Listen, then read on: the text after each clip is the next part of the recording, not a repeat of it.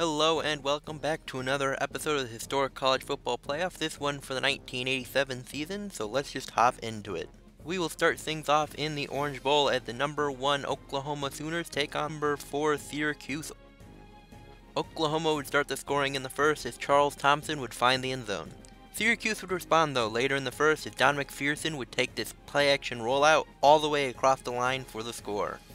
Oklahoma would not be slowed though, as Jamelle Holieway would get a score of his own on this option keeper. Syracuse would soon tie things back up as McPherson would find Tommy Kane in the end zone. As the half is coming to a close, Holieway would throw a touchdown of his own, finding Keith Jackson for six. Syracuse would move quickly though and kick this ball through the uprights to make it a four-point game at the half. And they'd carry that momentum into the second half, as Robert Drummond would take this ball up the middle for the score and the lead. The Sooner offense would still be chugging along though, as Holieway would find Cabiness deep for the score and to retake the lead. Syracuse would respond with this field goal to make it a one-point game.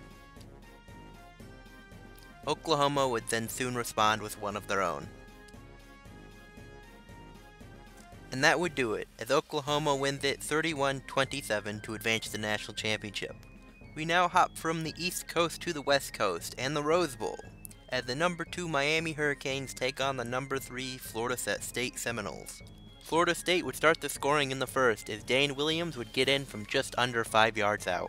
Miami would soon knot things up though, as Melvin Bratton would find the end zone. Not long after though, Florida State would retake the lead, as Danny McManus would find Herb Gainer for 6. Miami would respond with this field goal.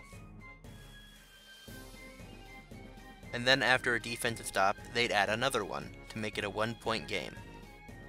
Florida State would then get one of their own as we head to the half, with the Seminoles up 17 to 13.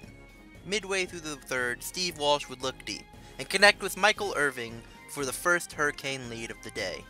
And that would do it. Both offenses would be shut out for the rest of the game as Miami goes on to win it 20 to 17.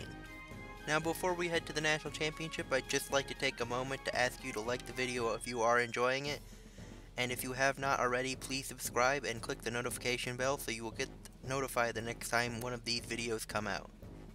On to the National Championship. We now head to New Orleans, Louisiana, as those Miami Hurricanes will be taking on the Oklahoma Sooners in the National Championship game. After a scoreless first quarter, Miami would put this ball through the uprights for the first score of the day. Oklahoma would respond not long after with this short field goal. In the third, the first touchdown of the day would occur, as Holieway would take this option keeper across the line. And that would do it. The Oklahoma Sooners would win the defensive slugfest 10-3 to claim the national championship. Thank you all for watching. Again, if you enjoyed the video, please click the like. Uh, if you have not already, please consider subscribing and clicking that notification bell. Again, thank you for watching. Bye.